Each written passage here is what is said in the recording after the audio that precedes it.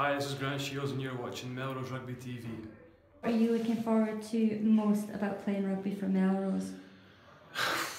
Um, having come from Scottish and uh, Edinburgh before that, you know, they're not teams that were frequently winning week in, week out. We had, when you did get the win, it was a big win, and that was nice. But um, you know, coming to a club like this, it'll be good to get regular wins, and um, you know, it'll be good to get a good vibrant club. What was it about Melrose that attracted you to become a Melrose rugby player?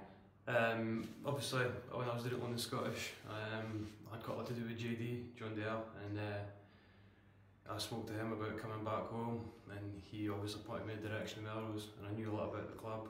Yeah, obviously, I knew that the club was, he's had a really good season last year, and um, he's were unlucky not to, you know, clean up on the silverware, and um, you know, based on a reputation like that, I thought I was pretty keen to come up here and see if I could add anything to that.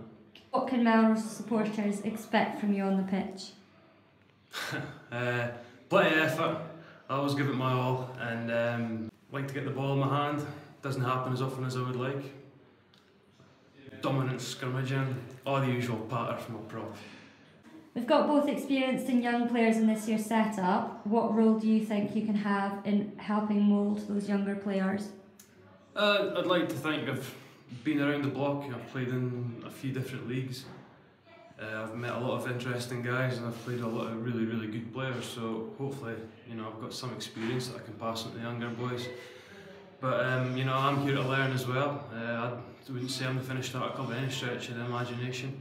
I'm just looking forward to getting stuck in, and uh, if I can pass anything on to the younger boys, then good and well.